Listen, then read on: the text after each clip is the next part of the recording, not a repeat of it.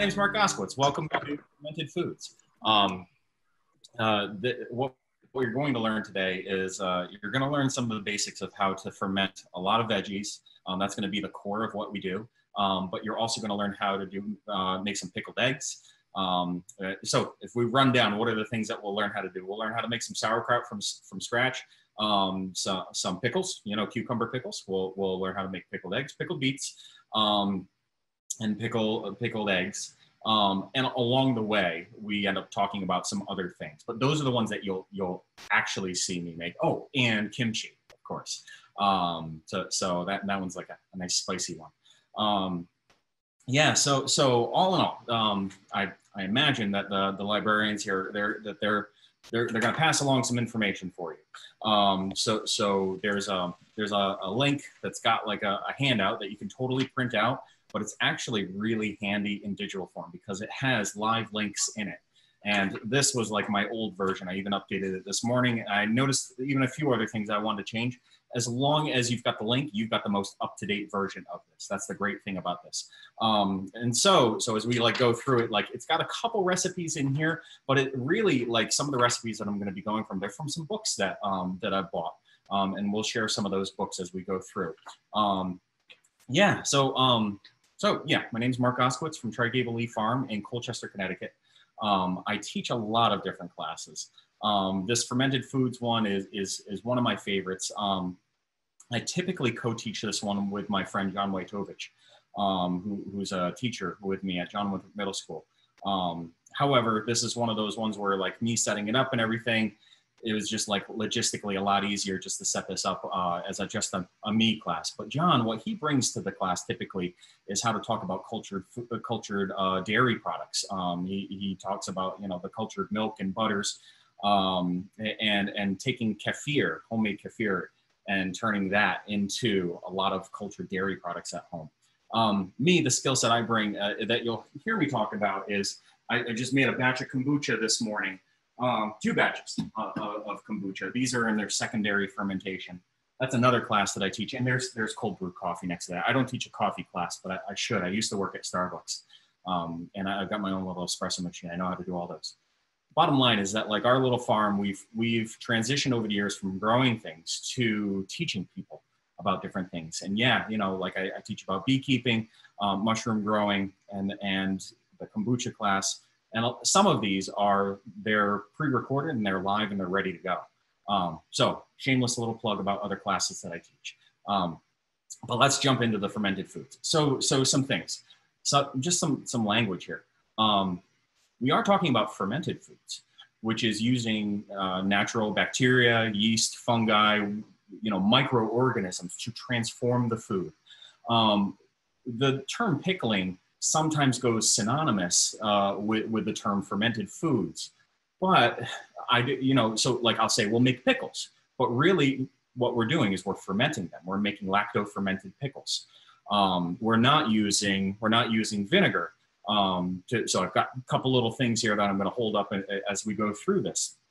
So one of those terms that, that you know, we're not going to learn how to make uh, vinegar-based pickles. Um, those would be like the pickles that you'd that you'd find on the grocery store shelf that are on the shelf in the grocery store in a can uh, or in a jar, um, and they don't need to be refrigerated. That's because they've they've been like heated up to a temperature that kills all of the bacteria and fungi that are in them. Um, they, they're they're they're dead. They don't you know they don't have any life to them. However, the pickles that we're going to learn to make, I'm just going to go to my fridge. and They're going to be the pickles that we'll learn how to make are going to be like these. I want you to see that cloudiness in there. And when I look at the ingredients on, on this brand of pickles, you know, store-bought brand of pickles, this was from the refrigerated area because these, these are alive and you're, you're keeping them alive in the refrigerator rather than canning them. Um, the ingredients for this are cucumbers, brine, which is made with water and salt, garlic, lemon, their proprietary spices, and some cinnamon. Um, and the pickles that we're going to make today, they're, they're very similar to this. Um, these are half sours. The difference between full sours and half sours is just that you kind of stop them from fermenting so long and you put them in the fridge to halt that process. So basically these didn't sit and ferment as long as full sour pickles. Um, and so, so they kind of taste a little more cucumbery than full pickly. All right, so, so as we're going into some of the language and everything, um, there are some recipes in this fermentation world um, that, that might use like an apple cider vinegar. Um, and apple cider vinegar is going to be this different than a distilled vinegar. All right. So if you're making like bread and butter pickles, typically it's going to involve distilled vinegar. It's going to be, you know, the, the regular, regular vinegar based pickles. But apple cider vinegar tends to be alive and it actually has a culture that's alive in it. And so you'll see this being used um, in ferments. So again, this whole class is about fermentation and that's what you're learning about. I'll put my props away, slide those away. Other things. So uh, in this like little handout that you got, um, what you're gonna see is you're gonna see like a little blue link down down the way, and that blue link is for a little brine chart. Now, me, I've got some of this stuff pre-measured and stuff, so I'm not going to be referring to the brine chart. That's just for efficiency's sake of running a class. But for your own sake, brine charts are important. Um, there's a range. There's a, so what you're going to get from this is you, you're going to see that like there are some hard and fast rules that you want to stick with in fermenting to avoid poisoning yourself, giving yourself food poisoning, and having something rot and fester in a jar. And then there, there are some details that you don't have to pay attention to that are going to enhance the flavor. So salt, your salt and water ratios, those are one of those details that you have to pay attention to. Um, otherwise, it can result in a poor ferment. We'll, we'll talk about that. I've had some bad ones. Never eaten one because you open it up and you can smell it. Um, but anyway, brine charts there. Uh, you know, yeah, hold it up to the camera kind of thing. Um, I, I like to go with, I do a lot of fermenting with one quart, you know, a one with a one quart jar, about this size. Um, so this tells me about like, hey, with one quart of water, how many tablespoons of salt am I going to add? Now, as we get into it, salt is important. I don't think I'm necessarily there yet. So, so I'm going to generally go in the order of my handout. You don't have the handout, but if you were to print this out and rewatch this video again, I'm going to try and stick to the order of the handout. So I'm trying not to get ahead of myself on the salt part. So one thing I say is that when you're when you're doing this, it tends to be like in these like summer months because this is the time of year when you have access to lots of local fresh veggies. Um, what, what you're going to see in here are some links.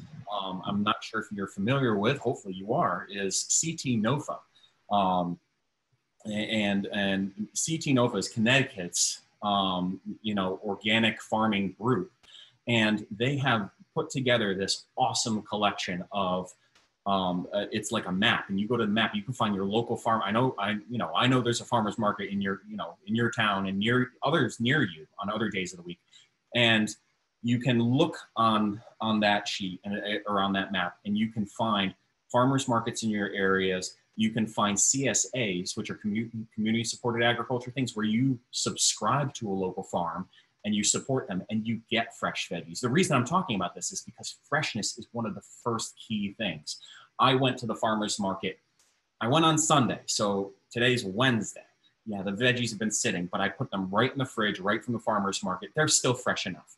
These are not veggies that have been shipped from California and they've been sitting, you know, in, in, in the grocery store warehouse coolers and then shipped to the grocery stores. And it takes, you know, weeks for those veggies to get to your house. They're old. Um, so, so freshness is the first key um, at, at getting, getting desirable products. If you're going to take the time to do this, it, these are quick, these are easy. But if you want a good result, if you want pickles, cucumber pickles that snap, you want to start with a fresh cucumber first. Um, so, so the other thing is that you don't need to, you don't need to like buy anything fancy. Whatever grows locally in your area, you can pickle it, you can ferment it, you can do stuff with it. Um, the what you'll look for is you'll look for recipes that go along with the veggies that you have. Um, rather than saying, "Hey, this is the recipe I have. Let me go find that veggie," and that veggie's old and it came from somewhere else, you know, in the world. What I encourage you to do is start with local veggies, local produce, and so look for those little Connecticut grown signs. You know, you're you know at the at the grocery store as well, the little CT grown signs. Um, those are going to show that your your food is relatively uh, it, it's fresh it, it, and it comes from a relatively close market. All right, so uh, next thing to jump into is cleanliness. Okay, I've already washed my hands. Now this is my own home kitchen. I'm not making this to sell to anybody. Um, we would have to go to a whole nother level of cleanliness if, if I were looking to sell this little jar of ferments. I would actually have to work in a USDA certified kitchen. And I could, I could probably, you know, your local uh, soup kitchens and stuff. Uh, and, and, a lot of churches tend to have kitchens that are certified by the USDA because they're serving food for the public. Um, I'm not, this is, this is your home kitchen fermentation. So the thing is, is that yeah, I, I, did take time already to like, you know, wash out my jars and my lids and get them all set up. Um, you know, they were brand new, um, but I'm not going to trust that. I washed them out. Now, so when we're talking about washing things and we're working with living organisms that, that we want to live and thrive in this jar, there's a couple important things is that if I leave soap residue in this jar after I wash it and I don't rinse it out well enough, that soap residue well, it's going to linger in the food that we're going to eat. And well, that's not good. But never mind, that's also going to potentially hinder or kill the bacteria um, that, that we want to promote uh, in this jar. And then other bacteria that are toxic could take over. So cleanliness is important, but also making sure that you're not leaving any antibacterial soap inside your jars. That's important, just as important, um, so that you're rinsing them off. Also, um, if you're, uh, many people have city water. City water is chlorinated. Um, a lot of uh, that chlorination is made to kill off microorganisms. So what do you do? Well, if you want, you know, an easy thing to do would be to, you know, find somebody with well water, get some well water, or find a spring, a local spring, and you know, fill up a, fill up some jugs for that. Um, or go to your grocery store and buy some distilled water. What you can also do, and I don't know if a lot of people necessarily know this, is you know, go ahead and get your get your stock pot out. Get a get a big pot, fill it up with your city tap water, and let it sit out overnight. Now, overnight, the chlorine, the, the chlorine from that is going to off gas from the water to a point where the bacteria that we want to grow uh, in here won't be hindered by the chlorine anymore. So, so these these are important things. These are that's why you're here at this class. These are those tiny details that if you did get a fermentation book, they have that listed, but you'd have to take the time to read. You can't just jump ahead to the, you know, the chapter on the recipe that you want and you overlook some of these details. This is why you take a class and you learn some of those. So we're hearing that cleanliness is important. Freshness is very important. We also, you know, we don't want to leave soap residues around. We also um, want to pay attention to the water that we're using, that it is good, clean water. Because when we're fermenting, we are we we are uh, it's a big water-based process. Um, so I'm a middle school teacher. This would be the point where, you know, I'd have, I'd have a student come over and I'd be like, hey, here's Jack. We're gonna pickle Jack today. And we'd imagine submerging Jack underwater. So here's the thing is that if you put Jack underwater and you hold him underwater in a big giant jar, well, eventually he dies. That's because Jack needs, you know, oxygen to breathe uh, and, and to survive. And, and so, so a similar thing kind of happens. So with this, there are bacteria, fungi, and yeast, little tiny colonies that have landed on this. And even from my own hands, as I was peeling this beet, that have landed on this. The, those, as we submerge those under the water and put them in an area that in, in brine, in salt water, that salt water ends up killing and becomes an environment that that a lot of uh, bacteria, yeast, and fungi that are out in the open don't like, but our friends that can survive in that brine, lactobacillus. So there's lots of different um, there's lots of different bacteria out there that are there's there's not just one type of bacteria in here, but there's several different strains of lactobacillus bacteria. Think if you get a you know a culture of yogurt, you get a little thing of yogurt and you see it's got active cultures and you look they might even list like L, Bacillus, blah, blah, blah. You know, all these Latin names. I'm not going to list them off, but like each one of those is a strain of bacteria that's used in that culture. As you breathe, mask or no mask, we're breathing, you know, we are breathing in bacteria, yeast, and fungi, spores that are just in the air. Um, and, and so, so what we are going to do is put them in a salt water brine. I like to think of this as the, as, as like recreating like the early stages of Earth in like the salt, salty sea almost. It, I know it's not quite a, a, the perfect analogy, but imagine this is a salty sea. The things that are going to live in here are not going to have access to oxygen because we're going to close this off from being able to introduce more oxygen to it. And they're also going to be in this highly salty environment. Now, what that's going to do is kill off a lot of bad bacteria, fungi, and yeast. And the, the ones that survive are going to be the ones that transform these carrots and that garlic into pickled carrots. Um, so overall, they're, they're going to, to, that this is a full batch of pickled carrots that are like this is from like February, a class I taught in February, and it's like, you know, the carrots themselves. It's like, look at look at that. That's that's how they transform. They the tissue of this has it's still got like it's still got some snap to it. And it tastes like garlic garlicky carrots. They're great. Um, this would be the point that if we were in a live class, I'd pass around a little jar and be like, hey, as a friend, if you want to try some. Um, so you're going to learn how to make pickled carrots. All right, I can't, sorry, I can't eat and talk myself. But my, my point with this is that you're seeing right there the transformation um, at a cellular level that the bacteria do to the carrot. They're, they're going to eat the sugars, you know, the, the amounts of sugars in there. And what they're going to do is they're going to, if you're working with middle schoolers, they're going to fart out carbon dioxide gas. So the processing here is one where this becomes, the oxygen gets used up and they are just producing carbon dioxide gas. If I, you know, I can I can still get like little gas bubbles. So just like there's carbonation in here. Um, just like in my kombucha, there's carbonation in my kombucha and other fermented things. That's from the um, from the carbon dioxide gas that is produced as a byproduct. Now that also enhances this brine situation, and it makes it more likely that that lactobacillus because it's in that acidic carbon carbon carbon dioxide infused low oxygen salty um, environment and it thrives and that's that's why i keep holding this up but that's why this is it's cloudy um, i actually let this sit out a bit so that there wouldn't be condensation on it um, and you can see that there, there's a cloudiness in this right now um, and that's from the bacteria that are in there okay so all right, some time has passed. And what are we learning here? So let's get into the, we've gone over the basics, some of the basics of what we're doing. We're trying to encourage a bacterial growth to transform the food. Again, we're, we're not going to preserve them in vinegar. We're going to preserve them in this like bacterial acidic soup that the, the bacteria kind of make their own sharp vinegar, their acidic vinegar themselves.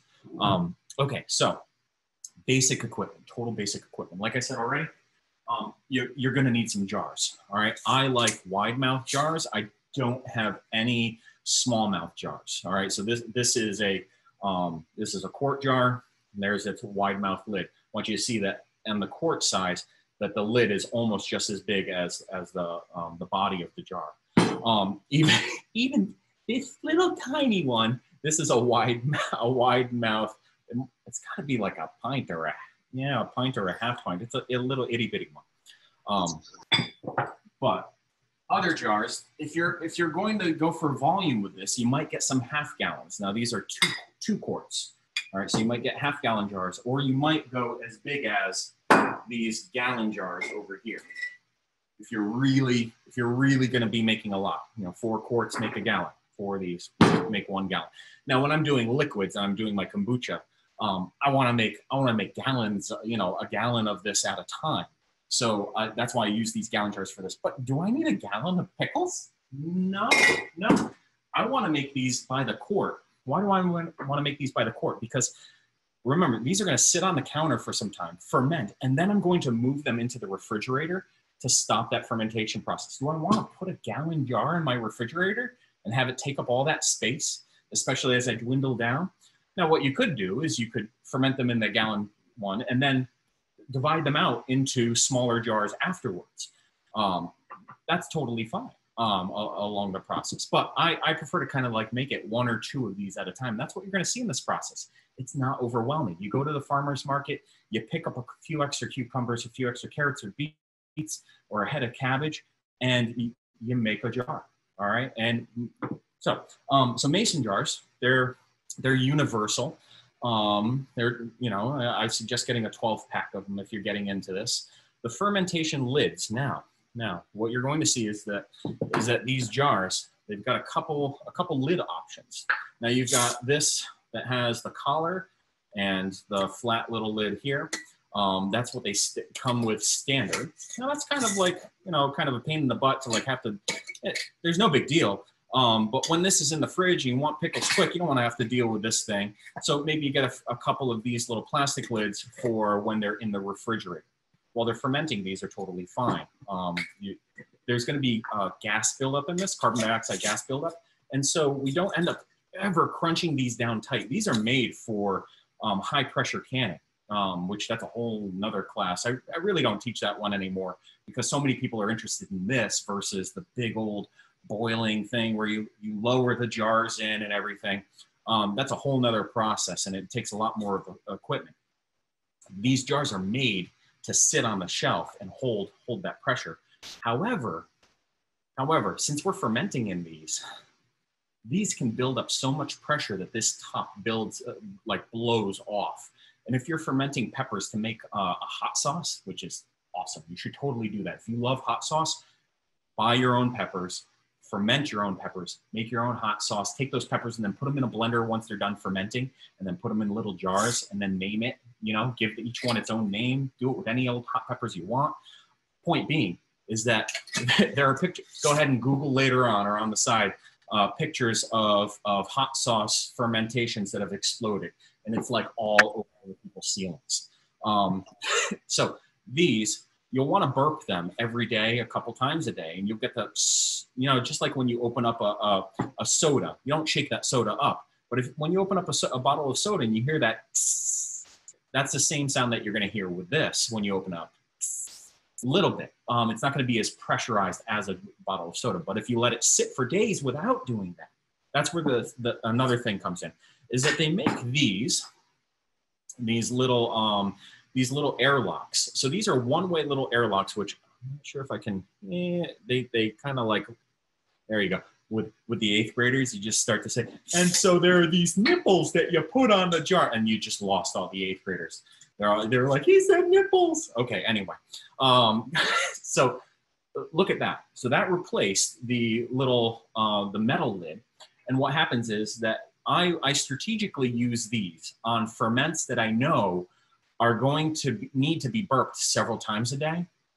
And in the time before I worked from home, you know, if we go back to full, school full time and I've got and I've got something fermenting on the counter, I'm going to end up um, using some of these again. I don't need to use these in the summer when I'm home and everything.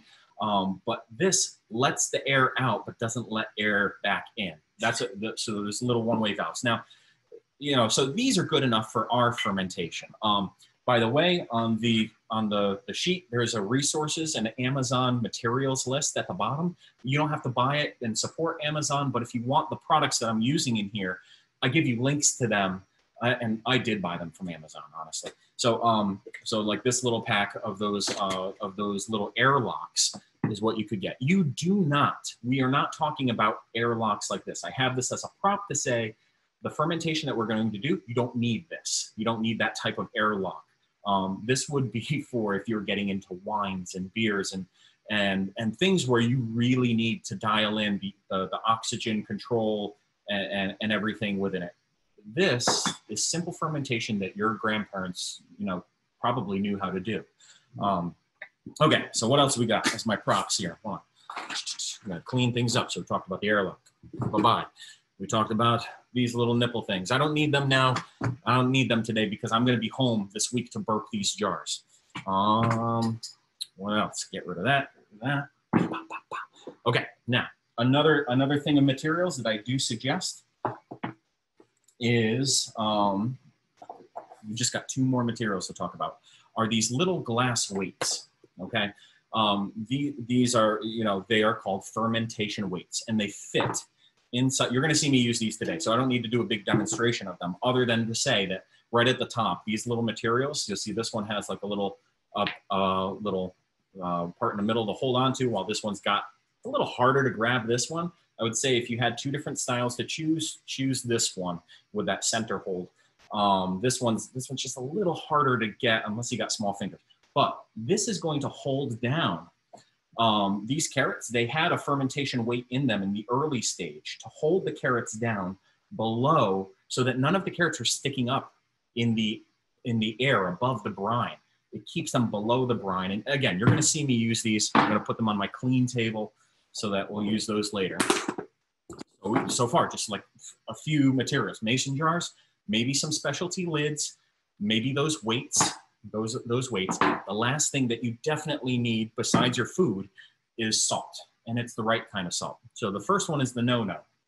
No, no, no, no, no, no, no.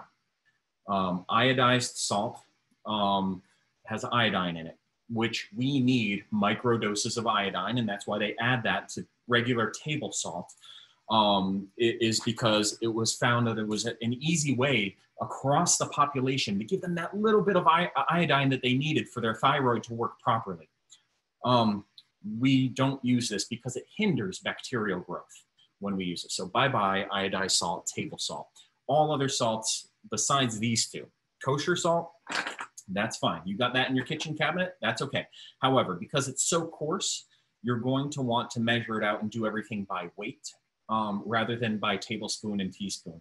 A lot of the recipes that are done by tablespoons, um, they are talking about tablespoons of a pickling salt, not necessarily a kosher salt. Just that there are going to be different differences in them. So pickling salt, this is what I use. It's very, very fine. It doesn't have anything added to it.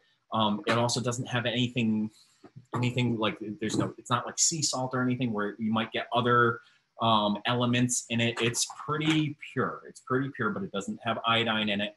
And it's also very fine grained, so it dissolves very easily. All I need to do is kick on the tap water uh, on, on hot, use regular hot tap water with this, and it dissolves easily. All right, we're like 25 minutes in, half an hour in. Let's actually get to some, some of the recipes.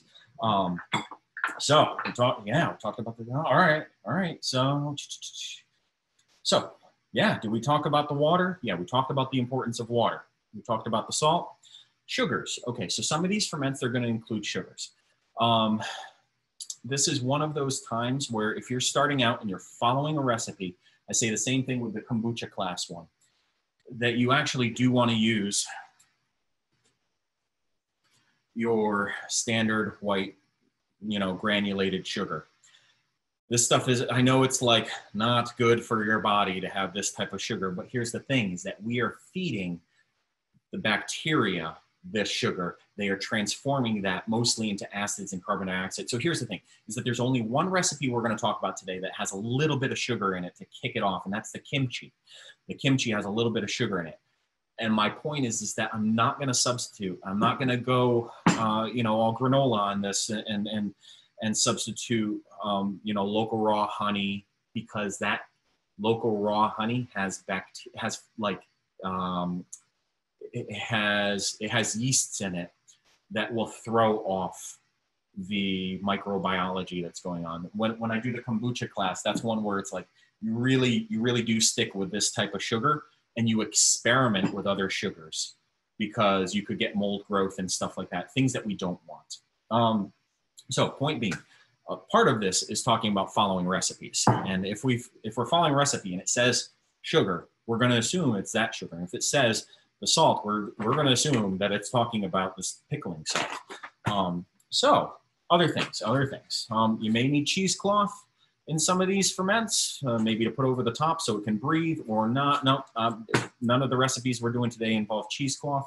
Um, however, uh, just some, some things as you get into books. This says pickling on it.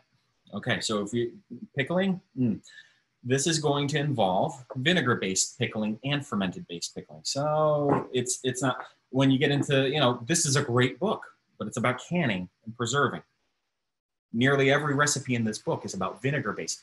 It's not lacto fermentation based. Preserving the Harvest, awesome book, gets into dehydrating, all, all sorts of things. But then again, this is not, this has only one small chapter on fermentation, which is what we're talking about today. So these are all the, my props of things to talk about. Again, maybe a little 12 bucks kitchen scale. You'll use this more than you realize once you have one in your kitchen. Um, so I use that to, to weigh out my salt and some of my ingredients. Now, what books are good books if you want to learn more about this? You see how has that word fermentation in the, in the title? This is, this is one of the go-to books. Um, so I'm going to show you three go-to books that great off the shelf. A ask your local library to like stock them so you can check them out um, or buy them for your own. I actually have these in print and I have them like on my Kindle. Um, because sometimes I'm I'm at a different place. I'm at somebody's house. I want the recipe or blah blah blah. So it, it travels with me. Fermentation for Beginners, excellent book. Um, home fermentation, that's like the next the next one. So this one, this one's you know not as thick, not as many recipes for this beginner book, but it's I would say start off with that one if you want to learn more. Step up to that. Um, and this one is a good one. And it, see how it's got fermentation in the book. The other one, there was that DIY um, pickling book. Oh no. Oh, there we go. The DIY pickling book. If you want to want a lot of the recipes that I'm going to talk about today, they are from these books that have fermentation in the title. So Mark, let's actually do something. Okay, we're going to start with sauerkraut. Sauerkraut, big bowl, big bowl. So you can make sauerkraut just with a head of cabbage and salt. No water added because what we're going to find out is the water comes from from this, um, from the cabbage itself. This is heavy. Um, I weighed it out earlier and um, it's it was nearly like a three pound head of cabbage. The recipe calls for two pounds. So once I take the core out and everything, and I and I peeled it and everything, I'm hoping that there's about two pounds left over. The the thing though is that when I'm following the recipe, it says that I want four tablespoons of salt for a two pound head of cabbage. So here's the thing: if I were to use a four pound of cabbage, twice the size of this, and still use the same amount of salt, that's a no-no you need to scale things up. You need to know the weights of some of your things. So, so remember, there are details that you've got to pay attention to. Weights and measurements are one of those when it comes to salt and your main ingredient, because and, and salt and water, because we want the right um, the right consistency for the brine. We want that to be just the right salinity, not so salty that when you eat it, you're like, oh, oh no, oh, that's bad. But and not to, um, not so little salt that it doesn't create that saltwater environment and other bacteria take off. I'm gonna, all right, so I'm gonna kick down to here. Um, all right, yes, I'm wearing, I'm wearing shorts. Now it's official. Um, in other ingredients that we're going to incorporate later, I do like juniper berries in my in my sauerkraut, and I like caraway seeds in my sauerkraut. Um, those are going to be later on. And I start with this one just because I think it's kind of important to see like this is as basic as it can be. What I am going to do is just kind of slice. So this is where you get to see a little bit of the prep. All right, the core, I'm to core it, set that aside, and I can give it to my chickens.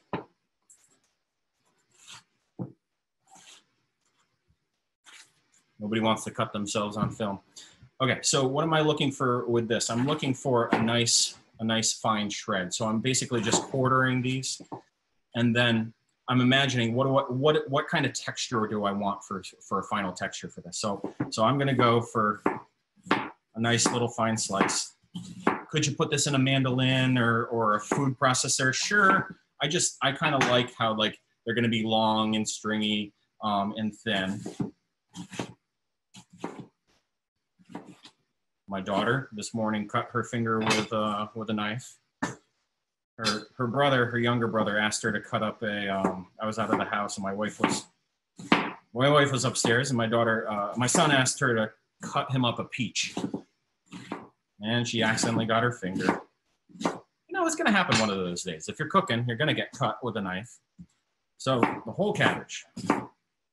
Here's here's the thing. I want you to imagine that that this whole cabbage, the whole thing, it might just fit in this jar. It's always a tight fit, but that's what we'll see at the end.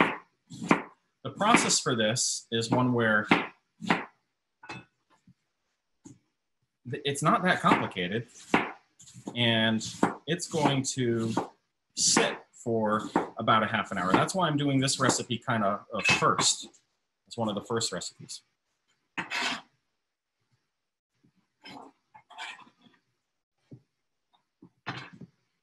Okay, so with this, I'm gonna combine four tablespoons of pickling salt.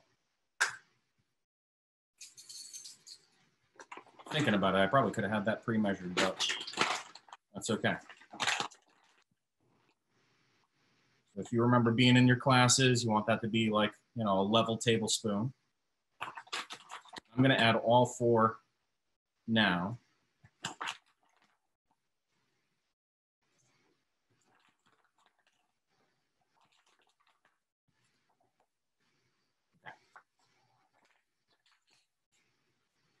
Here's where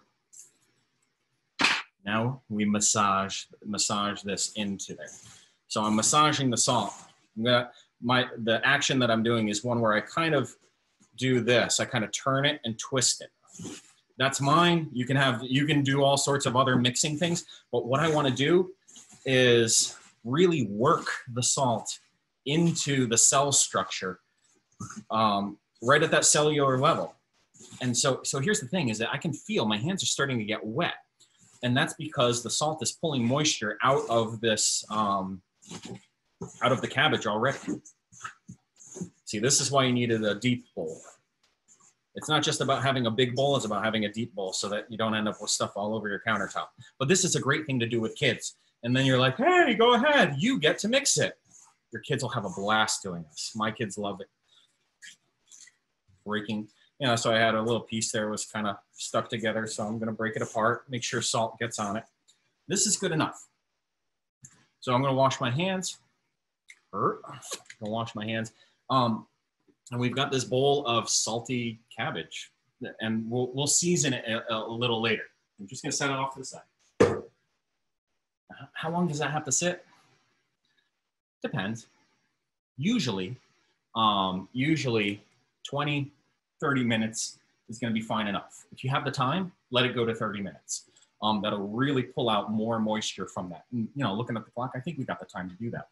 So what's next? Cucumbers. Pickles. All right, this one. This one's going to be from start to start to finish. So I've made cucumber pickles from, you know, so these are, these are pickling cucumbers. Why are they pickling cucumbers? Well, they're short. They're gonna fit in the jar nicely without wasting a lot of the cucumber flesh themselves. Um, another thing that makes them pickling cucumbers is, um, is, is just the texture and everything that you get from this. Imagine having like a salad cucumber that's twice as big, or, or like those gigantic, um, those gigantic curly cucumbers and everything, the greenhouse cucumbers. Um, you can make pickles from them. The texture is going to be different. So what you get with a pickling cucumber is you get a specific texture, which is the same texture from your store-bought pickles. Um, okay, so we've got pickling cucumbers. We got like a little collection of them here. Um, I've got some garlic. We'll go through each of these. I don't have to peel this because as we eat it, we're gonna eat the skin. But there is a little bit of prep with this. Some other things, some other things. So remember I said I do these pickling classes in the winter with my students. Um, we've made them with winter cucumbers grown who knows where and shipped to Connecticut in the middle of winter.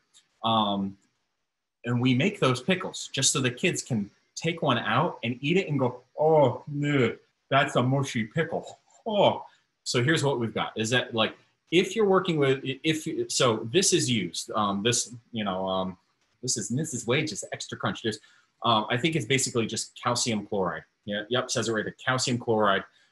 It adds a little bit of calcium to it, which helps preserve the crunch. Do you need this? No.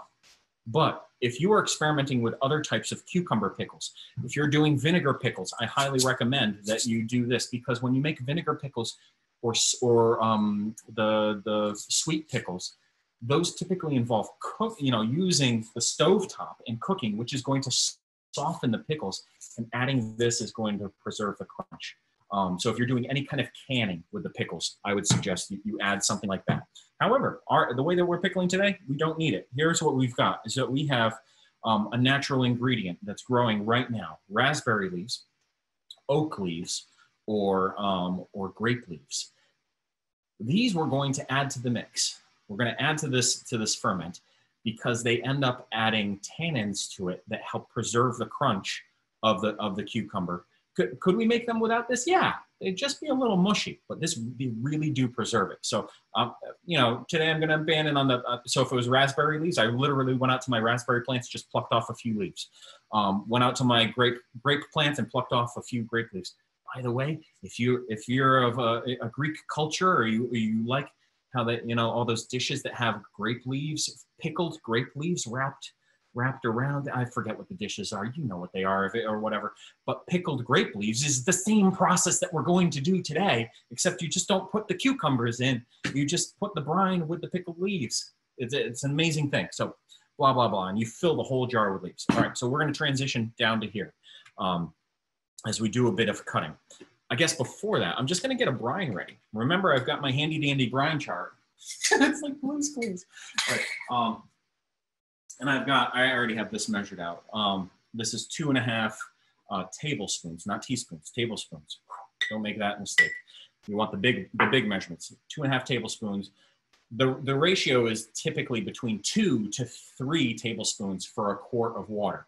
Um, and so, am I going to use all this water now? No, no. I'm going to use this for one recipe and then for another recipe. So he, here's the thing. Is that what I'm really going to do? Is I'm going to make two quarts of this right now. I'm going to put that salt. To put that salt in here. And then I'm going to add another one. So this is basically five tablespoons of salt. I'm just going to make a big honking thing of brine using hot water.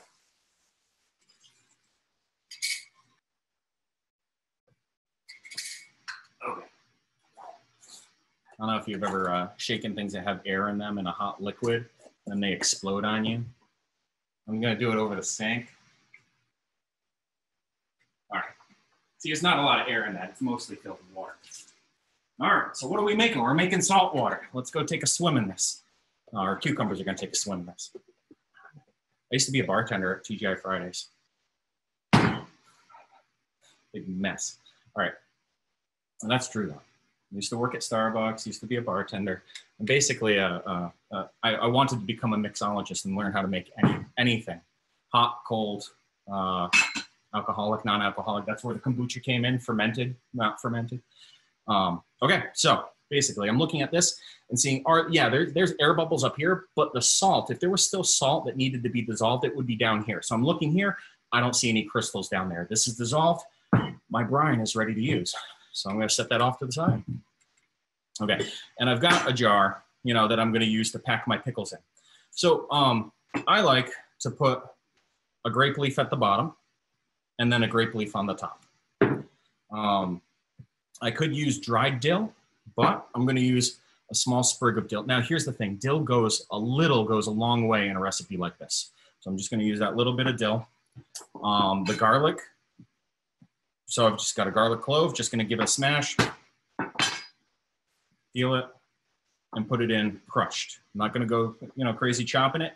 That garlic becomes, um, by smashing it, you are breaking up the cell structure and it actually releases a chemical, uh, allicin uh, is the name of the chemical, and it changes the, the flavors altogether of it. Boom. So we got some garlic, we got the grape leaves, we got a little bit of dill. Um, Man, this is if you would be in the room with me right now, you'd be smelling that garlic. Okay, so here's here's some other things that we could have in the recipe. So, um, and you know, some onion, red onion, white onion, whatever. Um, some other options besides the cucumbers. Uh, a jalapeno pepper. You can put other other kinds of chili peppers in here and everything. Uh, I, I so this thing. I'll admit, I am not somebody who likes spicy food. However, there is something magical that happens this imparts some crazy amazing flavor to these pickles that I can't get any other way. Do I eat the jalapenos? Mm, sometimes. I'm going to leave everything in there it doesn't seem to add heat to the peppers. It add, it's just flavor. So, but if you use other chili peppers, you might be able to get some heat to this too. So make some hot peppers um, if, if that's what you like. So I'm just going to quarter this because I know that like, you know, in my cooking and everything, I like to pull one of these pickled peppers out and I'll chop it up and use it in another dish. So I'll get those in. Okay, all these flavors are gonna mingle. Um, the, the onion's the same thing. I'm gonna hold off and put these in kind of with the cucumbers as I, as I put them in the jar. But I've just kind of got some little slices. So this is basically a quarter onion. If you're, depending on how big your onion was, this was a big onion. So if you had a little onion, one whole onion would go in there. Um, mustard seeds. Typically mustard seeds is, is, is part of the recipe and, and um, maybe a little cinnamon stick, maybe a little uh, black peppercorns. So here's the thing, pickling spices, they have a lot of those ingredients in it. Now, I, I know pickling spices tend to be used for making like a, um, uh, oh, come on, brain fart. You're at home, you're like, yeah, yeah St. Patty's Day, the uh, pickled, what, the, yeah, you know what I mean. Uh, yeah, that pickled meat during St. Patty's Day. There you go. That's what you get. so anyway, I'm going to add a tablespoon um, of this to the mix. All right. And these even have some dried chili peppers in them. So go ahead. We'll give them one of them chili peppers. When I look at this mix, it's got cinnamon stick, mustard seeds, uh, peppercorns, allspice, chili pepper, bay leaves, and orange peel. So this is, you know, again, did I do just mustard seed and black peppercorns? No, I went with something that's a little more complex. Let's go back down here. Okay. All right. So how do you prepare these? Basically, um, you know, I don't want any of these sticking up above the water level in there. All of these little pickling cucumbers, they are already perfectly fine. Now, could I could I do these as wholes, as, as whole pickles? Yeah, but I'm gonna do these as halves. You could do spears, you could do rounds, whatever you like. I personally like halves. Um, and then if I want spears, I go another step. Now here's, here's the only prep work that you're gonna see that I'm doing. Because these naturally fit in the jar, one thing that I am doing is that there's a, um, let's see, there's the stem end. This is where the, it went to the plant. And there is the blossom end. This is where the flower was on it. The blossom end is the part that keeps growing as the cucumber gets older and older and older. Um, this end has enzymes in it that can make this bottom part of the pickle um, make it soft. And actually, that's what I found with these pickles here is that they did not cut off the blossom ends and the bottoms of those pickles are kind of mushy. So I don't want that. So that's the only thing that you're seeing me do. I'm for texture wise, I'm taking you know the stem side off, but I'm also taking that bo- the blossom side off. Okay. Blah, blah, blah, blah, blah, blah, blah, blah. All right. How many pickles? How many cucumbers can we fit in a jar? My son was like, "Can I have cucumber for lunch today?" I was like, "No, I need them all." I don't need them all. But um, all right. So I'm going to start with that. We'll see. We'll see how they fit. So I like to load the jar kind of at an angle. And get them all in. Now it's okay if they end up like, you know, kind of rejoining each other, creating a, so just packing them in, packing them in. All right. So here's the thing is that these, when I pack them in, I can't fit no more in there. So there's where my little wedges of onion come in. I'm going to shove those onions in in the spaces where I've got some room. So when we think about that, that was like, you know, what is it, three, three and a half? You can go back in the video and count how many that was. With the onion, what I want to do is make sure that none of them kind of go above this line. I'm, I'm shoving them in so that they stay below that line. Now, if I didn't have enough pickles to wedge in, cucumbers to wedge in here and, the, and they would float, I would add one of my handy dandy little fermentation weights to hold them below the, the brine level. So honestly, we're, we're right there. We're right there. So we've got this. The raw ingredients are in there. I'm looking down. I've used everything except one more one more grape leaf. I'm just going to toss on the top, kind of tuck it in. Tuck it in, tuck it in, tuck it in. And again, that's going to kind of that's going to kind of keep anything that might float just keep it below the brine level. And then now we're back to taking my brine and trying not to make a mess.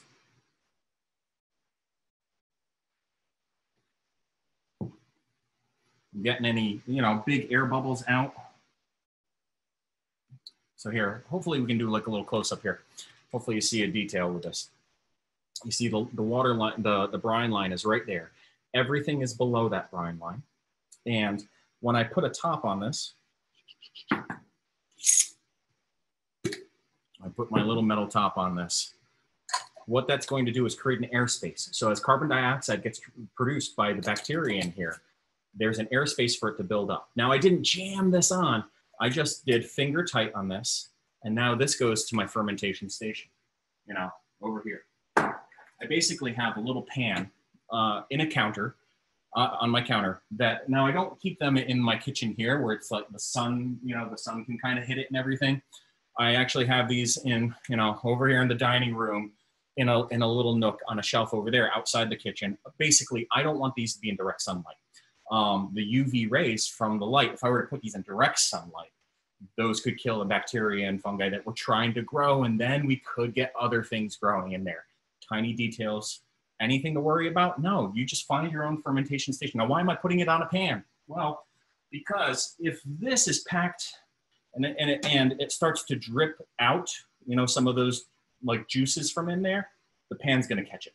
Um, and this pan, like it, it's aluminum. It reacts with the acids in there. I mean, would I ideally be using an aluminum pan? No, but like that's what I use. It's fine. So, okay. Boom. Fermentation started. Okay, so how long is that going to take? Um, so, so here's the thing. Um, we're in kind of warmer months right now. Basically, I'm going to be burping that, taking the jar and just going in the morning when I wake up. And then in the evening before I go to bed, I go and I burp my little babies, my little jar babies. Now, with something that's active, I might do all my burping over the sink. I found with carrots, they can get so crazy, tons of sugars in those carrots that they can really produce lots of carbon dioxide and it bubbles up and then it's like, ah, it's dripping all over the place. So if you burp them over the sink, you can give them a rinse off and everything. Um, so you're burping your little jar babies in the morning, um, you know, and in the afternoon. And so here's the thing, if in the afternoon you're burping it, it's like, okay, then maybe you need to burp it a couple times more during the day. or you need to use one of those fancy little, you know, airlock uh, nipple lids that we were talking about earlier um, you know, you might be like, oh, well, how about I just like leave it looser? You don't want gas to be able to really get in here. Okay. If gas can get in, then there's a potential that other bacteria and fungi could get in and colonize on the top of that and then spoil it. So um, let's jump into another recipe. So we've got, um, so I'm going to keep going with the brine. I'm going to keep going with that brine that I've got made. So I might not be going in the order of everything. Yep. Um, just gonna clean a little.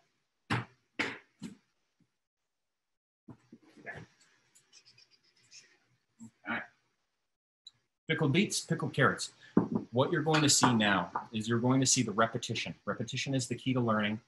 And in making fermented foods, you're going to learn that yes, there's an art to it. There's a feel for it. As the temperature changes in the summer, gets really hot, and if you're in, if you're in an, you know, if your house isn't air conditioned, your ferments are going to go like they're going to cook along. Um, they're going to really start to repopulate quickly, and you might have to do it in the basement, or you might not be able to do it during some months if you if you don't have air conditioning, because it might just move so fast um, that you might not get the desired result. Um, a lot of pickling is kind of best done in those like lower temperatures that, that a basement has. However, my house is air conditioned and it's not crazy cold, but it's cold enough to keep it out of those like 80 degree ranges. That's that's gonna that would kind of be bad for a lot of ferments. Um, so um, you're gonna see repetition in the steps of this: preparing food, clean jars, clean water, and a brine for, for a lot of these. So pickled beets, super simple. I'm gonna get another jar. Okay, so I've got another clean jar. I already, I already chopped up some of these beets and um, did not want I did not want my hands to get stained crazy red and then have to work with my computer. So I'm right-handed. My right hand will use the knife. My left hand will touch the beets. Basically, with all of these beets, how did I get them like this? You know, you know how did I, I get them like that? That's what I'm going to show you. So all these beets, they're going to go, they're going to go in the jar. And then that last beet, I'll show you how I prepared it. Pickled beets are one of the easiest ones because there's they have so, so such a complex flavor already when you pickle them that they're I, I really haven't found a need to add any other any other spice or anything to to the mix. So uh, we got a lot of stuff going on here. A lot of a lot of visual clutter. There we go. Okay. Um, so as we go, so how did I prepare that beet there? Um, beets are round. And like my daughter found out this morning, when you cut things that are round, uh, they can move on you. So the first thing I do is I pinch from the sides. You know how to cut things, but not everybody does. So, so pinching from the sides and then having it, that's going to be a, a good way to create a stable foundation. Now they don't roll, no matter what you do to them. And then all I'm going to do is I'm looking for relative consistency and thickness. I'm going for something that is about um, about an eighth of an inch thick. Why am I looking for cons consistency? Well, because this is a root vegetable. Yeah, it's got some sugars in it, but not as high as the, the fruits would have. Um, but it's really dense. It's really fibrous. And I want each one of these slices to pickle and to, to transform at about the same rate. If I were to make some of these thin and some of these thick and maybe some of these like whole big chunks like that, um, the center of this wouldn't get pickled like these would. They wouldn't become as tender quickly and the, the flavors just wouldn't penetrate. So we're looking for consistency. Okay.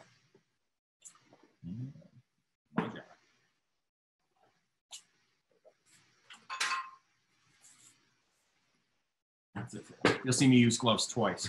One for these because they stain, and then one for um, one for the kimchi because of the spices.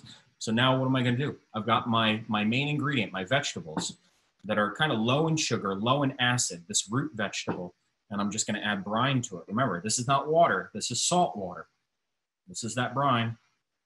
And I'm just gonna bring it to a level. Now those beets, they just started to float. So what am I gonna do? I'm gonna drop a weight in. And we'll get a little close up of this, is that here's the thing is that as I push that weight in, I can push those beets further down. I'm gonna go to the sink and pour some of this off so I have the same air space that I had before.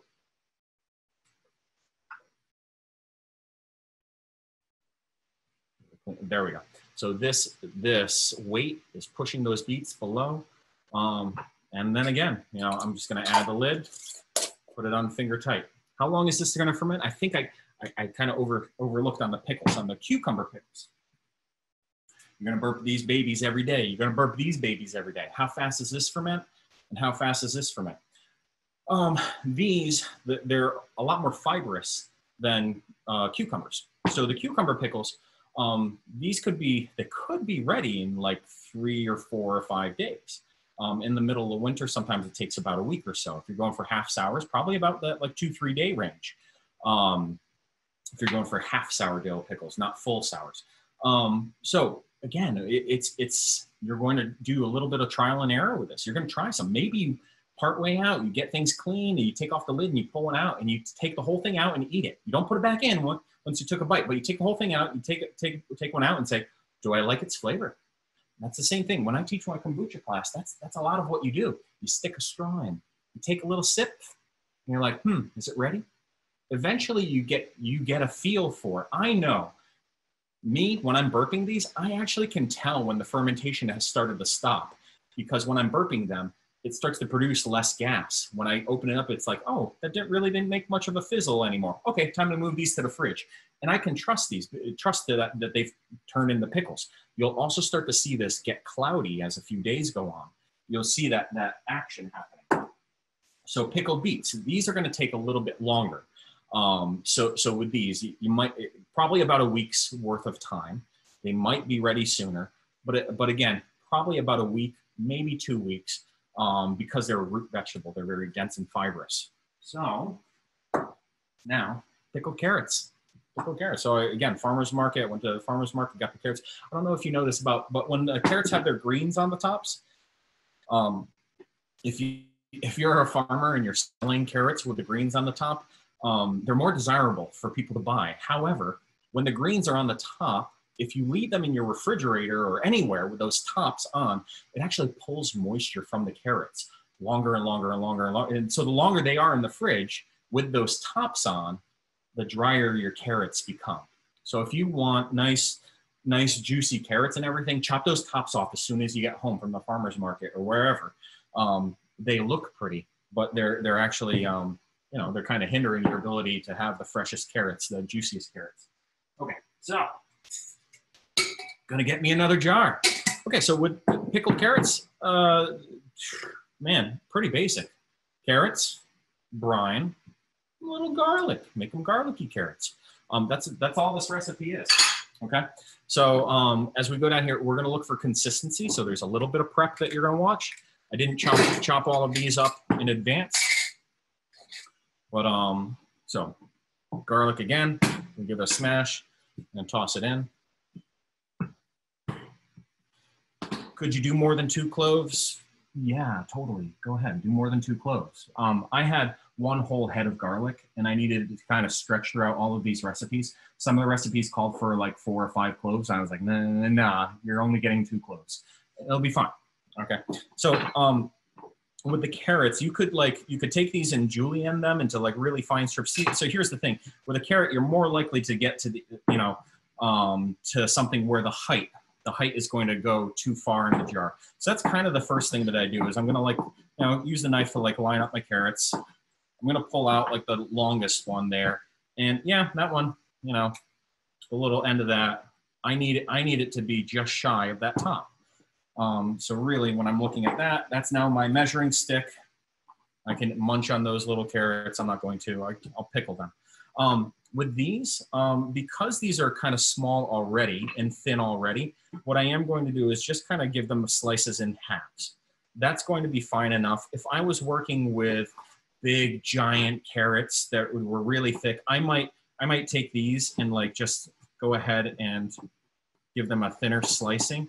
But these are these are really like organic carrots that are they're gnarly and everything and they're not going to be perfectly uniform anyway. You'll see that when I'm cutting these, I'm still using that same strategy. These are round, knives slip on round things. Um, so I'm using that strategy of pinching from both sides and holding it still as I slice it. Oh boy, that's a, that was a twisted one.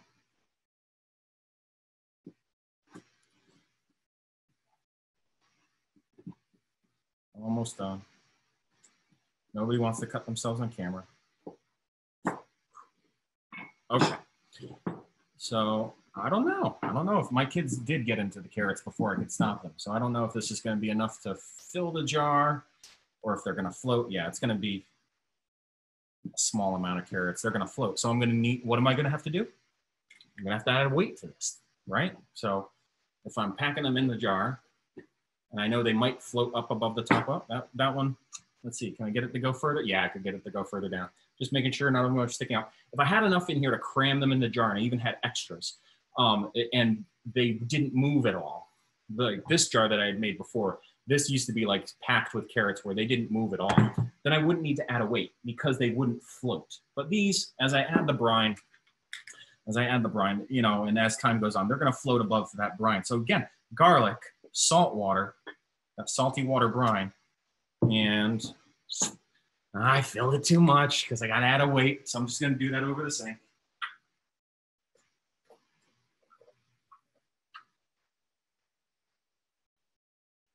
Clean up the jar.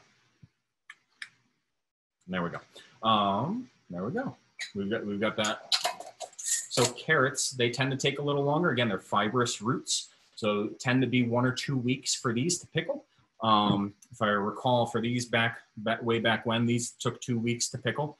Um, and months later, sitting in the fridge, they're still good. So what, what do I mean by that again?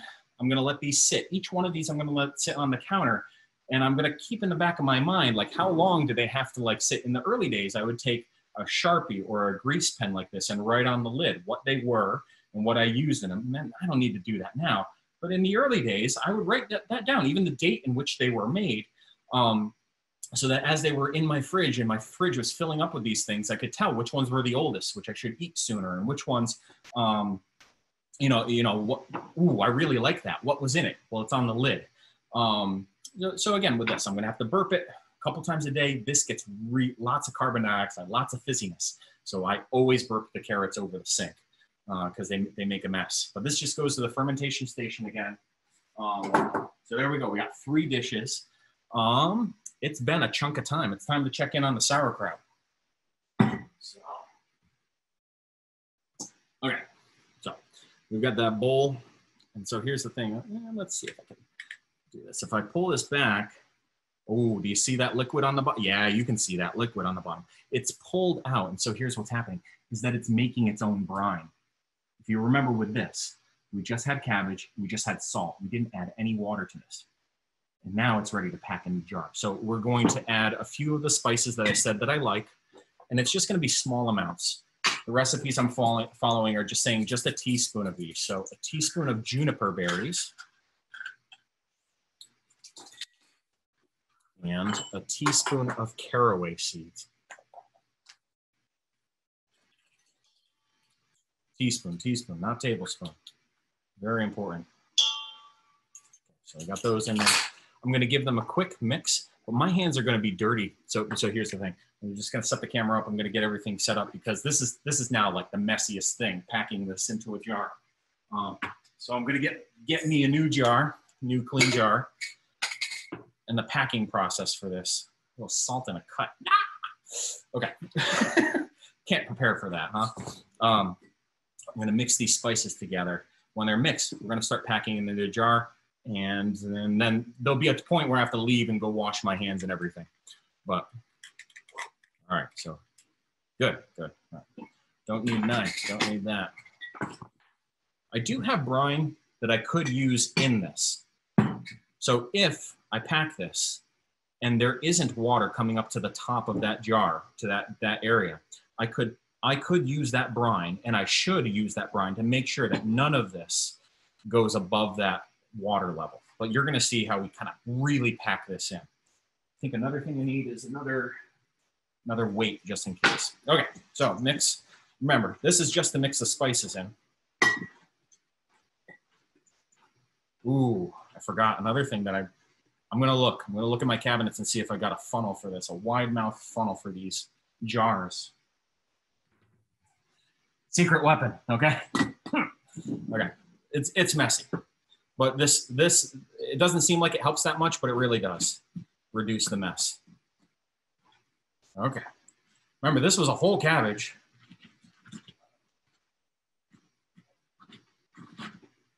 Oh boy.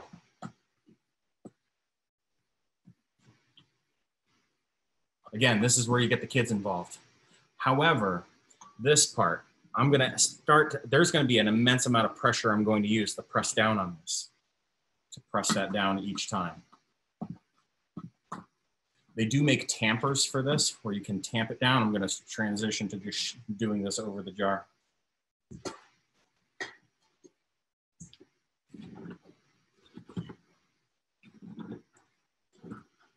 Get that like rubbery sound yeah, I'm not going to try and force all of this into, into one container.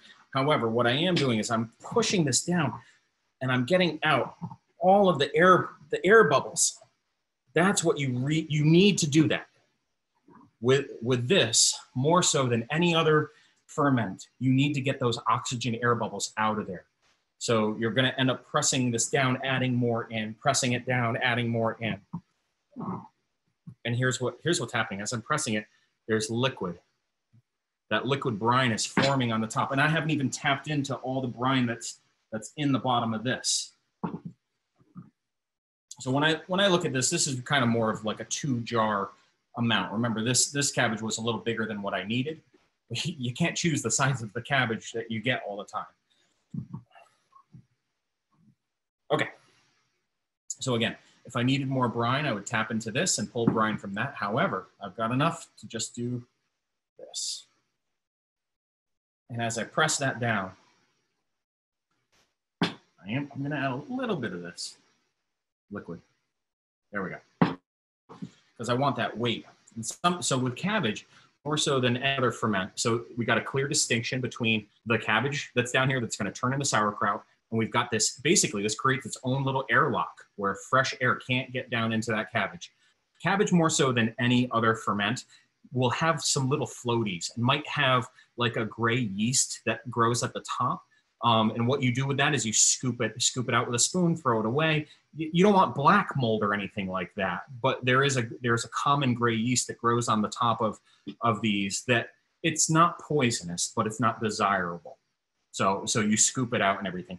You may so more than any other ferment, you may have to add um, as this goes on some of that brine may bubble out as you're burping it, and you may have to make brine in the middle of the week um, for that. So I'm gonna go wash my hands and talk a little more about it.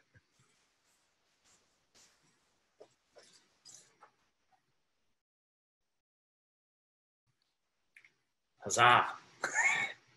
Fun times. Okay, so cleaning up, cleaning up from the cabbage stuff. We're gonna go into kimchi, but still, still a few things to say about that. So yeah, I'm gonna put this on. How long does the, so, so with this, you saw the process was different than with the cucumber pickles and those other, those are fast. This one I had to let it sit, but I didn't necessarily make a brine from this. All the brine came from the cabbage itself and all that salt that I put on it in the beginning. And then I let it sit, really, you can go back in the video and see how long I let it sit for, probably for more than half an hour um, as, as we go. So again, this is gonna sit on the counter, gonna burp it a couple times a day uh, burp those little jar babies. Um, and then this is one where you can pull that weight out. You can stick a fork in and taste it. T taste it. Don't put the fork back in, but you can put a fork in, a clean fork in, taste it, and see, hmm, does it taste like sauerkraut yet? There'll, there'll be a point where the, there's enough acids in there where it starts to taste a little sour. Um, that, that you know, then starts to taste like sauerkraut. Um, and because of those spices that we add there, it's going to taste like the good sauerkraut. Um, you can put you, you know what you can do with sauerkraut put it on sandwiches pierogies what, whatever you do um, i've even had it in the morning with eggs um, so how long i've had sauerkraut mature as fast as three days but this is one where it's like if you do have basement space i've read into the science of, of, of sauerkraut and i've tried it myself this is great if you can let this go in your basement where it's in the high 50s or 60s or so and let it do its fermentation down there for a week or, or so. Um, it might take a couple weeks, but typically within that week's time, that's when I like it. Um, my friend, he likes it after about two weeks worth of time.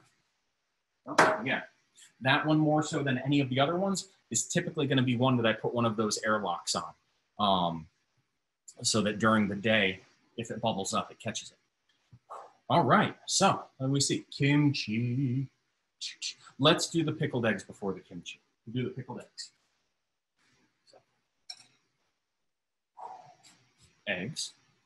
This is the one where I don't have it in a bowl. I wanted the smell to kind of stay in here. So I've got hard-boiled eggs. Hopefully you know how to hard-boiled eggs. Um, if not, well, you know, here's the quick, the quick one. You get your water boiling in a pot that's going to be big enough so that when you add those eggs, the water doesn't come out. You get the water boiling, a nice rolling boil. And then you add the eggs. I like to use, I like to use a slotted spoon, adding the eggs one at a time. Uh, if you add them all at once, it can, whatever, it can make splashes with that boiling water. That, that's not safe. Adding them one at a time. And typically uh, when I'm doing this, I'll do a whole dozen eggs. You know, about six or so will go in a jar uh, of the pickled eggs. And the others will, will have as egg salad sandwiches and stuff like that. So I actually already had some for lunch today. Um, so, and then I set a timer for 12 minutes. You know, and that's because those eggs came from the refrigerator. If, if these were eggs that were fresh from my chicken coop, then I would probably do boil, let them boil for just 10 minutes since they were already up at like room temperature already. But since those eggs had been in the fridge, they're cold, we'll let them boil for 12 minutes. And then, um, and then I put them in an ice water bath. So it's just a bowl filled with ice and water and I use the same slotted spoon to pull them safely out of the boiling water and put them in the bath. That's how you make boiled eggs. All right, let them sit. And then, since they're in that ice water bath, that makes them really easy to peel. So I peel them directly from that ice water bath. Um, and that's that's what I've got here. Peeled. Now, this is one where, again, a jalapeno in here, amazing. Add a jalapeno to it. A little bit of dill, a little goes a long way. Tiny little sprig is going to be fine. A couple garlic cloves um, is, is what this recipe calls for. Now, here's where we get into a big difference between fermenting vegetables and now we're fermenting, hmm, this ain't no vegetable. Okay, how is this, chemically like different than, than vegetables. This is high fat, high, high fat, like low sugar, um, low cellulose. It, it doesn't, it doesn't have like all that structure that, that, you know, that these do. It's a completely different thing. Um, high fat, high protein. All right. While carrots, carrots, low fat, low protein, high sugars. Okay. So, so with these, we're using a brine with this. We're also using a brine with the pickled eggs. However, these lived in a natural environment. And even though I peeled these, these carrots, as I was peeling, small amounts of bacteria, fungi, and stuff like that ended up on the carrots and helped to start the fermentation process. I th- those inoculated it. These I boiled them. They are dead, dead, dead through and through for the most part. It's kind of like I pasteurized them, you know. And now I'm going to put them in a salty environment. I need to add some life to it. So you'll see in the handout, I give you a few examples of what you could do. So if you have, if you have kombucha, you could put a little bit of, you know, homemade kombucha, not the stuff that's sitting on the grocery shelves. It's flavored and everything. Your own homemade kombucha. You could use that as a starter because it has bacteria and yeast and stuff. It's got the stuff that that'll start to pickle it. If you have this, honestly, I can take a tablespoon of this liquid that's in here that has this bacteria in here and use it to start it. Um, so, so from pickle, so you can use the liquids from previous ferments to kickstart something that's going to be harder to ferment on its own. Um, pickled eggs a lot of times are made with vinegar. Remember, we're doing lacto fermented pickled eggs. No vi vinegar in this at all. We are using bacteria and fungi, you know, to kick this off. So, so what what is, what did I have in the bowl here? Um, in this bowl was, so this, so active, this is alive, kefir, all right? So kefir, kefir, um, this has got active live cultures in it. It's plain, it's not flavored with strawberry or anything like that. It's a drinkable yogurt, amazing stuff. Um, you can make this on your own. You can buy a culture and then every week make your own drinkable yogurt. What did I do? I took some cheesecloth and I poured some in in this strainer and I had a bowl down here to catch this liquid. Now look, you look at that cloudy liquid. That's what we call is whey. Okay, so so you can use whey from an active culture like this. Okay, so so so this this kefir it was made with with a lactobacillus bacteria, and what we're going to do is use that to start this off. How long did it take for this to sit? A lot of recipes say let, you know, to collect whey, let it sit overnight. I did this just two hours before we started. And I've got like half a cup of whey in there. That's more than enough. Um, you know, and, you know, I could choose to take this and use that. Uh, uh, I'm not going to use it for anything else. I could use it for, you, could, you can make a little thing cheese, kind of like cottage cheese type of thing with it. I'm not going to bother with it. But I have my whey, I have my eggs. And now I want you to see again, how simple is it to make pickled eggs? So it's going to be repetition is the key to learning. A lot of repetition with this. I've got some dill that I'm putting in my in my in my jar. I've got this whey. I'm only going to need a tablespoon. A tablespoon. But here's the thing. Bacterial colonies, the size of the colony you start with matters. So if I could put more in here and it's not going to change the flavor for the worse, why not add more? All right, that like like I could put honestly, I could put this whole like quarter cup, half cup in here. It's not going to change the flavor of my pickled eggs. So why not start out with a high bacterial load and and give it a kickstart that it needs? I'm saying that I only need a tablespoon. But what else am I going to do with this? You know, I don't I don't need to use it for anything else. So I'm going to give it a good start of that. Okay, now I got my eggs. I'll get the eggs in there, but first I'm just going to give this you know, give the garlic a quick, quick crush, put it in, peel it or not. It's up to you. I tend to not eat the garlic that I have in the pickled eggs, but I tend to eat the garlic that I have in the pickled carrots and the pickled, I don't know. It's, it's something that, you know, these get that eggy flavor and everything, which I could desire. Um, so same, oh, I didn't chop the off. Um, same thing with these. I, I have found, again, I jalapenos with this, they do something crazy amazing to, to these eggs. Um, so I'm going to start off with six, six eggs, see how it fills. Two, three, four, five, six. Yep, I can fit, I can fit, I can fit eight in there. So I'm gonna go ahead and fit eight. A couple of those were a little cracked, no big deal. Um, and then again, I'm adding brine. I either go make the brine or I add it in. Now, pickled eggs, they, they can float a little, but these are ones where it's like, I don't need to add the weight to them. These are gonna be fine just as they are. I'm gonna wash my hands.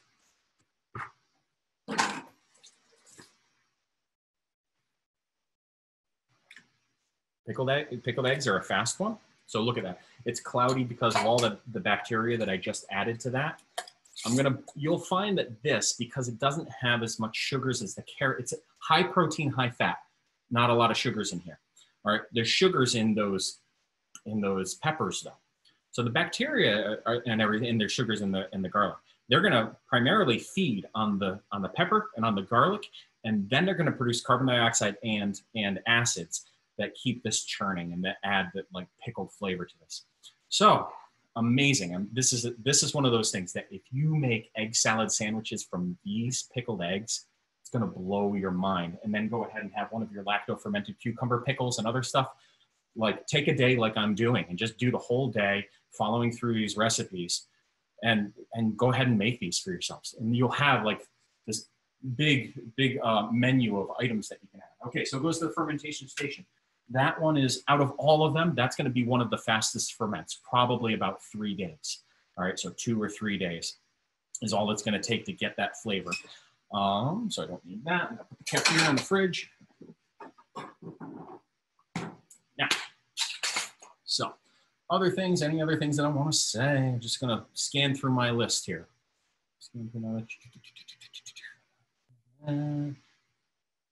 We're gonna we're gonna do kimchi next. Now fruits. One of the one of the recipes I like to do, but I, I didn't have the ingredients for it, so just didn't do it. Um, is is um, lacto fermented lacto fermented raspberry jam. Uh, again, this is from one of the books, lacto fermented raspberry lavender jam. This is a no cook jam. This is amazing. Instead of being at the stove top and making, you know, making your raspberry jam, and everything at the stove top and then and then canning it and everything.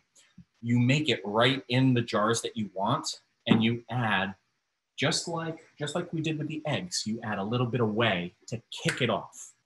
Um, so when we're talking, so what you what you'll learn is as you as you get good at fermenting vegetables, start with those. Then you can experiment and try some of these other fermentation things that involve um, that involve fruits and other items, maybe cultured cheeses and stuff like that, and butter and everything. Um, start with the vegetables. Start. That's what the the recipes that I'm going through today are great ones for you to start with, and then try something like that fermented raspberry jam. What happens is it ferments. You kick it off with either a little kombucha, a little bit of of that whey um, as a starter, and it breaks down the sugars and it really congeals those raspberries. Yeah, you mash up the raspberries, you toss in a little lavender and some some lemon juice and stuff like that. If we go through a recipe, let's see. Um, it's got lavender flowers. It's got some a little. Uh, um, it's got the raspberries in there, like three cups of raspberries, blah blah blah, to make a whole pint. Um, it's got some honey in there. So remember, I said no no on honey and stuff like that, but like this this is a recipe that calls for it. You're adding into there the whey, two tablespoons of whey to kick it off, and a half a teaspoon of pickling salt. So a little bit of salt in there. And again, it's like everything has its reason and as to why it's in there. And what happens is it makes this jam for you that's a no cook jam. And it gives you the benefits of a lacto fermented item that helps with your whole gut system. We didn't even talk about that. That's a whole nother thing how um, how you feel different after you've eaten these day in and day out fermented foods.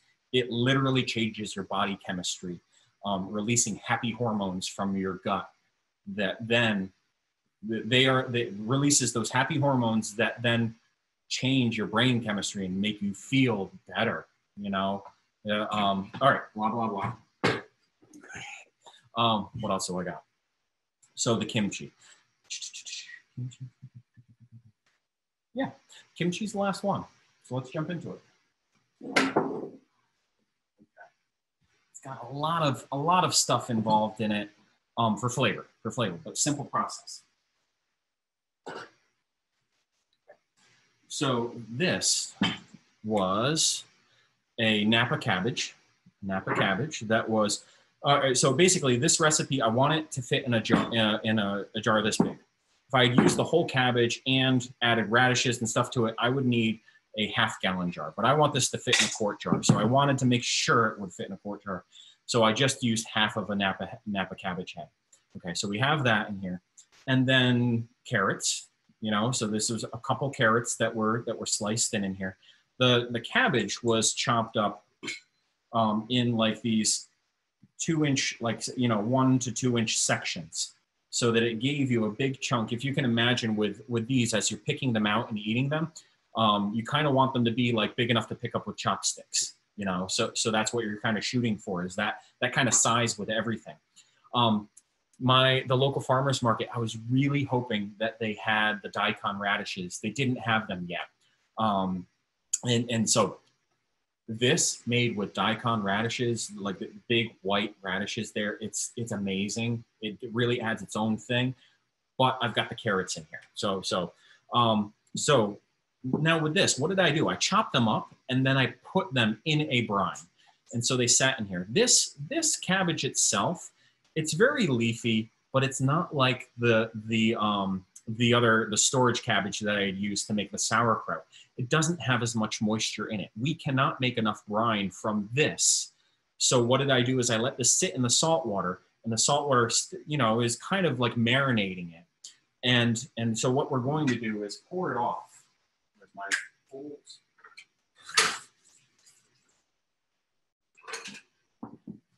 We're just going to do a, a quick pour off of the moisture of the brine. We're going to save that brine. We do not need all of that. So I'm going to pour the rest into this thing.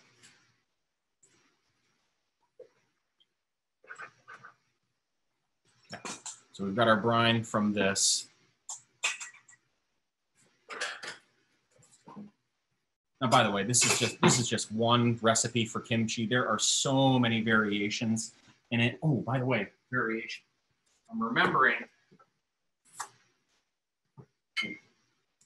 I'm remembering that I like to add fish sauce to this. The recipe I'm following didn't have fish sauce, but I'm just like remembering that that gives it one of those like great umami flavors to the whole mix. So I've got, I've got, you know, the, the cabbage, some of the carrots.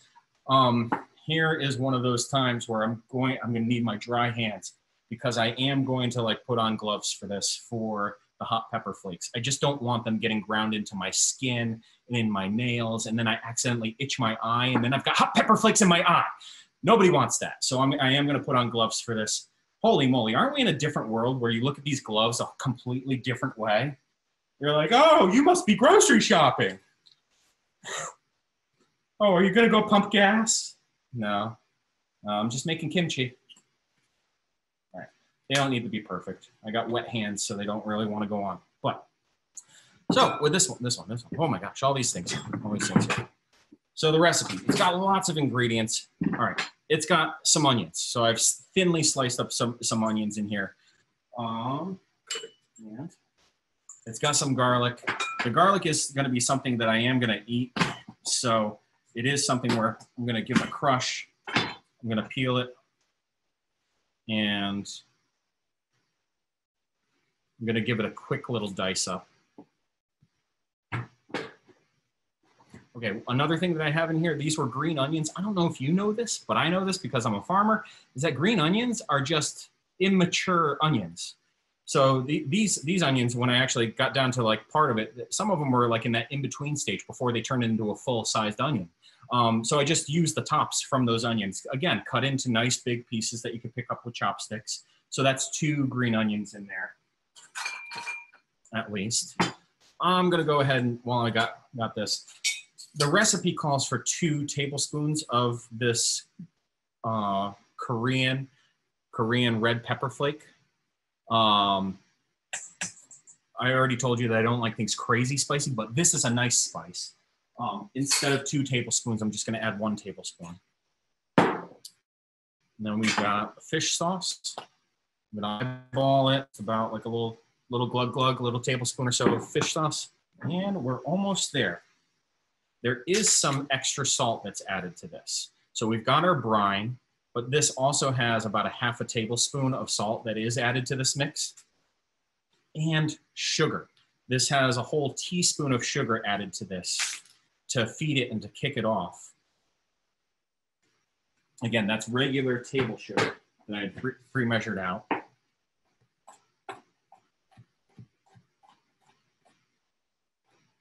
I'm not going for a full mince here, but I'm gonna go for something close.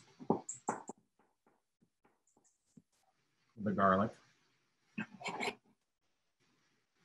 Okay, and the ginger. So uh, with the ginger, uh, I'm gonna be mincing it. So so like I'm gonna I'm gonna go to like the super fine um, part of my of my shredder here. I'm gonna go to this one here, and about an inch worth or so. I'm just gonna I've already peeled it with the knife. So so anything that I'm kind of shredding up here. Ginger man, this is just an awesome awesome ingredient. All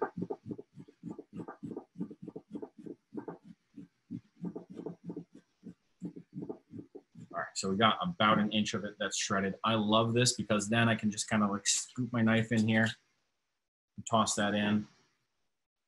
It's got that wonderful smell, wonderful smell. Okay. And now the gloves. We've got all of these awesome spices in here. And I'm, you can kind of see I'm giving it that same massage that I did for, whew, oh man, so good that same massage that I did for the um, sauerkraut.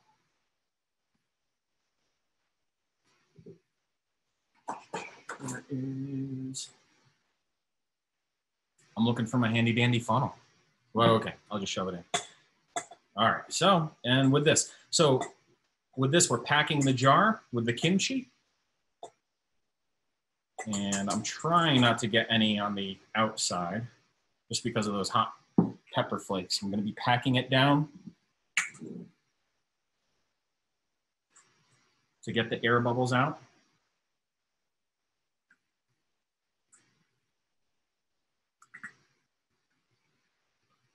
You can see why I'm doing this one last because of all the, the spices. And again, gonna be giving it a firm press. I could have added more. You know what I'm gonna do? I'm gonna take this one since I've got the room. And I'm gonna experiment with this. This has not marinated in the brine. It's not gonna throw anything off, but I'm gonna add this in on top to see what kind of flavors does that get when it's in the mix. It's not gonna throw anything else off, but I want, I wanna fill this jar up, man. If I've got all this, you know, if I've got this, this cabbage here and I can make it fit in the jar, I'm gonna make it fit in the jar. Less waste. Okay, Remember, we're gonna get my handy dandy weight, push that weight in there. Now there's not a lot of brine in there. I'm just trying to get all the oxygen out and I'm gonna do this, do this over the sink. Um, I'm just gonna get that same level of brine in here.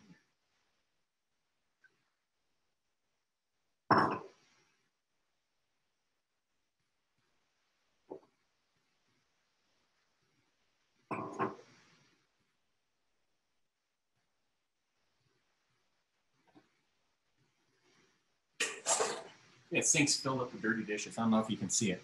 All right. Try not to touch the equipment with this. Okay, so I've got my like my little air layer in here. Everything's covered up. I take my spicy gloves off. And put a top on.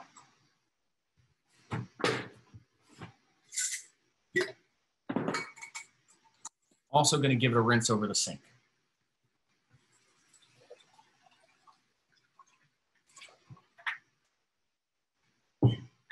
Oh my God, look at that. Look at that. So that that is like that's a meal in a jar right there. Now, of course, kimchi is you know usually seen as like a side dish, but man, all the flavors that are kind of come out from this. This is basically like a three-day ferment. It's got a little extra sugar that we added into there. Um, I have to wash my hands really carefully. But um, again, this is one we're going to burp our jar babies. So when we look over, we just like review. We did the sauerkraut right from the get-go. we did the cucumber pickles.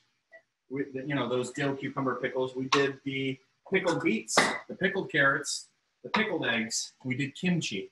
We did also talk about some other things. This is a beginner's class, so I'm not going to go crazy into everything, but you got some basic recipes that really get you going um, and get you used to the patterns of fermentation. Um, this lacto lactobacillus based fermentation. Um, so again, clean water, no chlorine in it, um, the right kind of salt, pickling salt or kosher salt. Do it by weight, follow a brine chart, follow a recipe. Now let's end, let's end by talking about one of the most important things is how do you know if a ferment is bad? Use your nose. All right, that's gonna be one of the first things. Your nose and your eyes. You crack open that jar. If it doesn't smell right, you throw it away. No questions. You don't go, oh, just have a little. No, no, no, no. Nobody wants diarrhea. Nobody wants to die. Um, you don't go. You don't go eating things that smell bad. You were born with this, and if your if your nose, if you're congested and you can't smell, have somebody else smell it. If it smells off, that's not okay. It should smell like pickles. Sauerkraut should smell like sauerkraut. Kimchi should smell like kimchi, and pickled eggs should taste and smell like pickled eggs. So the next thing, your next thing is first smell. I'll tell you what, the, the, the one time that we had a bad ferment with the, with the kids at school was a good thing we did because we had a jar of sauerkraut. We had a jar of sauerkraut and it looked normal, looked perfectly normal. You opened up the top though, and what had happened is the brine had evaporated out. Now, there could have been several things that went wrong with it. One, there might not have been enough brine, okay? And so some of the things went above the brine level, got exposed to oxygen and rotted. That, that's, that's a likely culprit. One of the kids could have had dirty hands when they were, they didn't wash their hands the way we told them to wash their hands, the way that everybody knows how to wash their hands now because of COVID. Okay, so maybe they didn't have clean hands. Maybe they left soap residue inside the jar because we have the kids do all the preparation for this. The eighth graders and seventh graders do all the preparation for this. Maybe they left soap residue in it. Um, maybe we had them measure out the salt. Maybe somebody didn't measure out enough salt and the brine. The, the you know there wasn't enough brine, you know, salty, salty, salt, saltiness in this to stop bad bacteria growth. There's a lot of little variables all together. I want you to see these are super simple things to, to control. Look at this. Within a couple hours of time, the hour and a half to, you know, where are we? Hour and 40 minutes. Done all those and jibber jabbered quite a bit. I'm sure those of you watching are like, come on, man, wrap it up. But this is an important thing at the end is to talk about rotten things. Your nose. When we opened up that bad jar, it gave us that gag reflex right away. I've never experienced anything like that, but it was literally like a like vomit in the back of my throat, gag reflex. If you get that, you throw it away. Okay, so the, you know, first thing is your smell. If it smells bad, then if it smells fine, take a little taste. If it tastes off, I've had ones where like I tasted it and I was like, huh, kind of tastes a little chemically kind of tastes like a like ugh.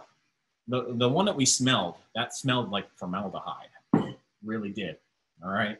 Um and, but like if it's got like a little chemically flavor to it or anything it, use your judgment. If it smells or tastes off or if it looks off the color's way off like if this turned like come you know completely like gray or black or anything use your common sense and get rid of it do not taste it. Do not ingest it. Do not make somebody else taste it for you. Okay. Um, so, so yeah, typically you can tell, you can tell right away if something's bad. Um, okay. Okay. So I think we're at the end. Thanks. Thanks for joining. Um, yeah. Now you know how to do some of the basic fermentation things.